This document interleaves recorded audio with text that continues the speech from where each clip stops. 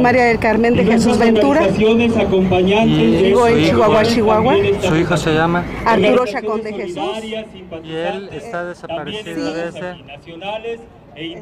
A partir del 18 de febrero del 2013, a mi hijo de ahí del punto de trabajo se lo llevaron un comando armado. En total son nueve, nueve trabajadores desaparecidos. Eran todos sus compañeros de trabajo, soldadores, eh, fuera el exterior de una mina llamada Diabras de México que le han cambiado el nombre a partir de estas desapariciones. Las autoridades no nos responden nada, nomás que después nos dicen y que van a investigar.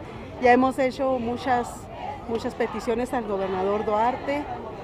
No, Duarte Jaques no nos contesta nada, no nos responde nada, la Fiscalía de Occidente nada tampoco. La empresa se deslinda, pero estamos en eso, en hacerlos que sean responsables de eso. Es tremendo, quisiera uno que nos los regresen, como decimos, vivos se los llevaron vivos, los queremos, pero realmente necesitamos ya una respuesta. Tienen tantas herramientas para poder buscarlos y no, no nos ayudan a buscarlos.